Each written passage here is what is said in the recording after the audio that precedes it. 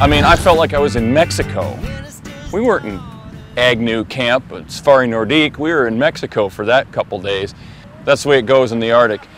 It could change by the minute. You could have hot weather, 10 minutes later, you know, it could be changed. The wind will blow in. White capping it. Yeah, it's a little windy today, so we gotta try to find our way back through these waves. Otherwise, we're gonna have to sit until dark when it calms down. Oh yeah, dark wind. You know, it's like when we're gonna we're gonna go back when the Arctic winds stop blowing. So tune in next. How long we got left? tune in next year. Have good rain gear with you because you're gonna need it. Only worry is having a good time and how hard you want to hunt and hopefully which animal you want to take. Is that him? Yeah, that's a good looking bull from here.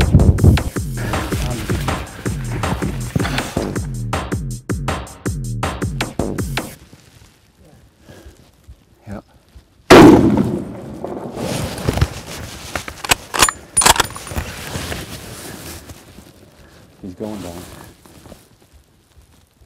Perfect. I'm, done. I'm glad, boy.